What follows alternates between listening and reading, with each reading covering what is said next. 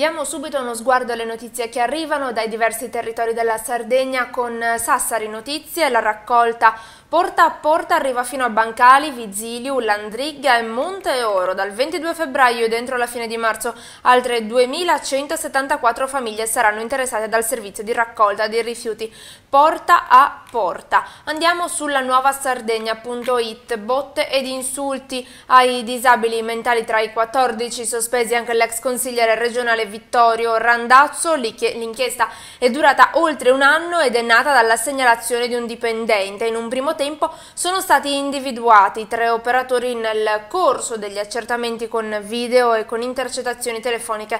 È emerso che si sarebbe trattato di pratiche adottate anche da altri operatori e qui nella foto vediamo la struttura. Su algher.it guasto condotta piove alla civile ora l'ASL non può più attendere. Lunedì ieri si è rotta una condotta all'ospedale civile di Alghero creando non pochi disagi nel reparto di medicina. L'appello di Alessandro Nasone di Nursing Up al commissario Sussarello.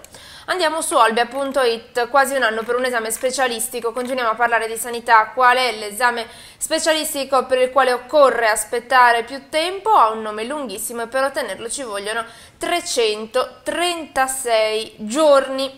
Andiamo avanti a Nuoro, su cronache nuoresi eh, l'iniziativa della Giunta Soddu per una città più ecologica e sostenibile arrivano le case dell'acqua, si tratta di erogatori pubblici di acqua potabile refrigerata, naturale e gasata. Su il nostro illatv.it ristano nuovi corsi di formazione sportiva. Mercoledì 9 febbraio presso l'auditorium dell'Istituto Tecnico Lorenzo Mossa a Oristano sono stati presentati due nuove eh, curvature di studi disponibili per i giovani che dalle scuole secondarie di primo eh, grado andranno ad iscriversi nelle scuole superiori. Si tratta del tecnico turistico sportivo e del tecnico informatico sportivo. Sulla prima pagina dell'Unione Sarda.it, Sulcis pronti alla marcia su Roma, 200 lavoratori dell'Alcoa in viaggio, una delegazione appunto di 200 lavoratori è partita ieri pomeriggio da Porto Vesme diretta ad Olbia per imbarcarsi su un traghetto che questa mattina li eh, farà sbarcare a Civitavecchia. La eh, manifestazione giungerà poi a Montecitorio per rivendicare il diritto al lavoro e qui vediamo le foto di ieri sera.